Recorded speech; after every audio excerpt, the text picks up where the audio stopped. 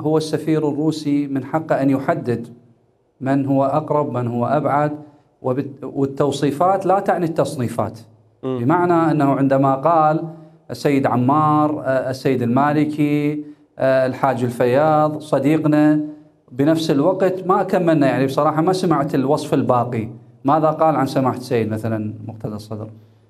لا قال قال جذابة يصنف. ونحترمه. في حين وصف الآخرين آه، السادة الآخرين بأنهم أصدقاء. أصدقاء. أصدقاء. اي شخصية جذابة اخو هاج- يعني آه، فعلا آه، مدح ومدح كبير. يعني شخصية جذابة بمعنى ملفتة للنظر وضوء مسلط عليها. لكن انت جنابك أكيد اطلعت يوم امس الامين عام لكتائب حزب الله اصدر بيان.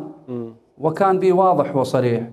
وبالتالي موقف اغلب آه، آه، العقلاء الفضلاء آه، الاخوة في المقاومة كل هؤلاء انهم لسنا مع اي حرب.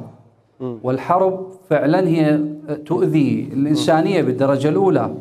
لكن قبل أن نتحدث عن الحروب العبثية التي خاضتها الولايات المتحدة الأمريكية واستهلكت فيها البلاد والعباد واستنزفت فيها الموارد البشرية والطاقات المالية. هذا ما حد يتحدث عنه للأسف انت الشديد. أنت من تجد أن هناك صمت غريب. دكتور آه، إحساسك الداخلي وجدانك الداخلي منو تتمنى؟ الروس لو الاوكرانيين؟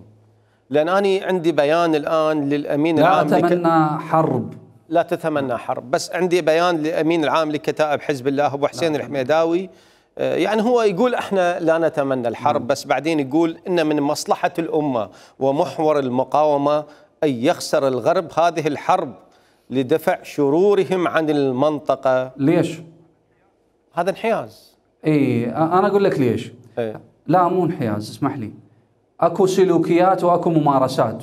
اليوم الأستاذ عدنان من يمارس دور الانحياز في برنامجه مثلا أو في طرحه. أنا بالتالي لا ينتظر من عندي موقف